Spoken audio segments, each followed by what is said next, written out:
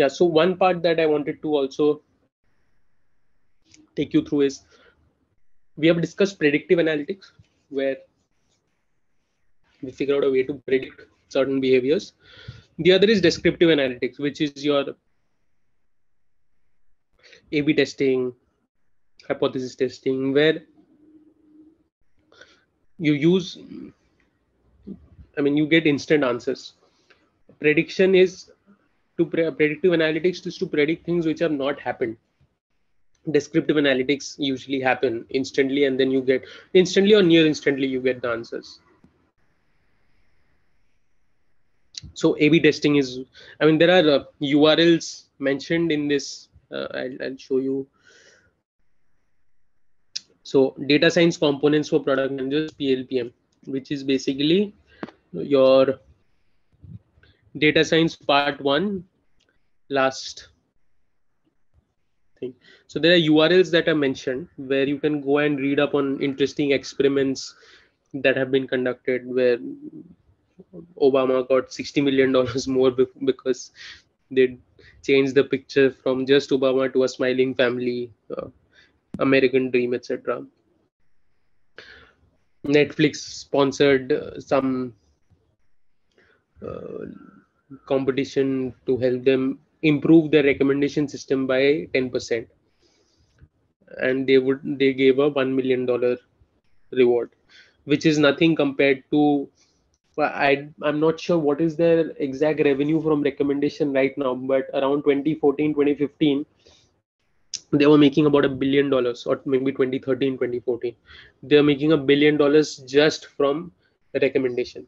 So if they recommended the right things people happen to just pay them for a few extra months. So their lifetime revenue from each customer kept increasing. And that's how they made a billion dollars extra in revenues every year. This is another interesting uh, article where basically target is sort of the dmart of us i don't know if they're the big bazaar of us or dmart of us but they're departmental chain hypermarket chain in us and uh, one of the, so one of the things that they could do is they used certain correlations in terms of so the kind of things that people tend to uh, not people girls or ladies tend to eat or consume or buy a few months before they are you know, or maybe a few weeks before they're about to become pregnant etc conceive so they would deliver something or something like that. So they would deliver those items without even asking that you know this is what you need. And people didn't realize why they're doing it but then i think this once it went public they realized why they were getting these deliveries from target. So uh, and another important slide in this module was is that and i think sangari asked this that so what is the framework or what is the involvement in crunching the data that a product manager should have? So a framework for data scientists is you define the objective that this is what we are studying. You define the success. This is what the success looks like. And this is what i need to understand the entire process. And this is how i'm going to collect this data. And then you analyze the data. You model the data.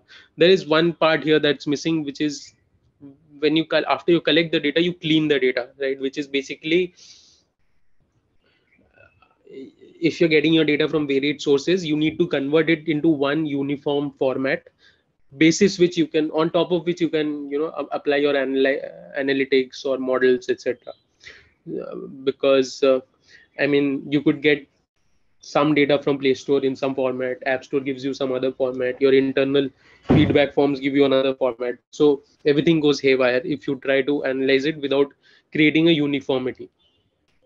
So you analyze the data model the data verify and then you determine the results. So these fifth six seven points right the applying the analytics applying the models this the science behind crunching the data is where if you want to be or if you are from a heavily technical background you can be involved but you need not be.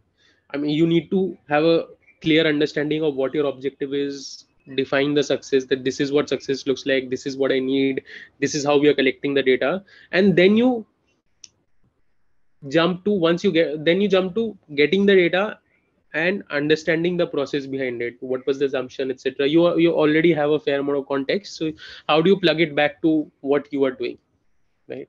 So the, the science of it you can leave it to the data scientist.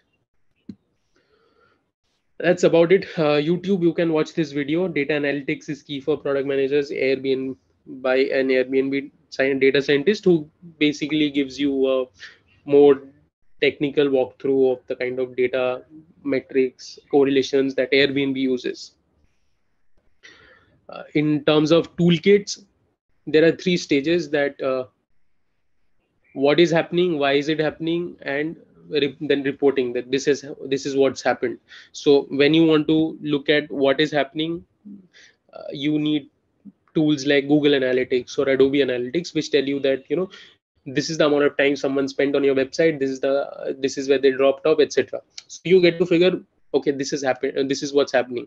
But why is it happening? Then you have tools like uh, a platform called amplitude or mixpanel which give you an insight into why what was the path that most users are taking before they drop dropping off right? And then there are tools like i mean tableau excel Qlik Sense where you get those data feed, feed it into and then they generate a beautified report which you can present to senior management your teams investors all of them